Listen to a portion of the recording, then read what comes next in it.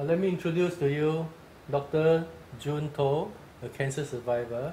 Let her share with us how Qi Gong helped her. Hello.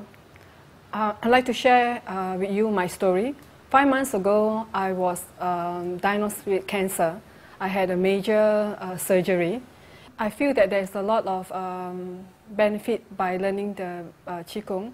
Why did I say? It's because um, I went through the uh, sixth cycle of chemotherapy and I do not feel um, the, I, I do not have any um, major negative effect after post uh, chemo.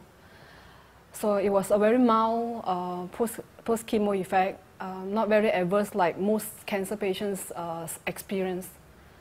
So I feel, um, I feel that the practicing Qigong every day on a daily basis has helped me to cope with the uh, chemotherapy. And as you can see, I'm, I'm, i look fine, I feel fine, and I look very healthy as compared to a lot of cancer survivors might not look the same as me today.